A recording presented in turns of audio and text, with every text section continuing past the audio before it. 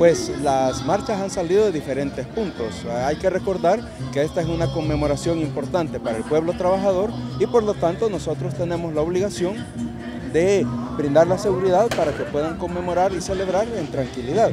Pues no ha habido novedades relevantes. Eh, sí, desafortunadamente ha habido algunas personas que han manchado algunas paredes que no son propiedad privada, pero eh, desafortunadamente se continúa con esta práctica por unas pocas personas. Sí ha habido una captura, pero por nada que ver con la marcha, sino que en las verificaciones que hacemos normalmente en estos dispositivos hemos encontrado a una persona que tiene una orden judicial de detención. Es una persona que ha venido a la marcha, eh, proviene de la alcaldía de Santa Ana y en los registros rutinarios pues se le encontró que tiene una orden, está siendo reclamado por la justicia y debido a eso se ha realizado la captura, pero nada que ver con las actividades de la conmemoración del Día del Trabajo.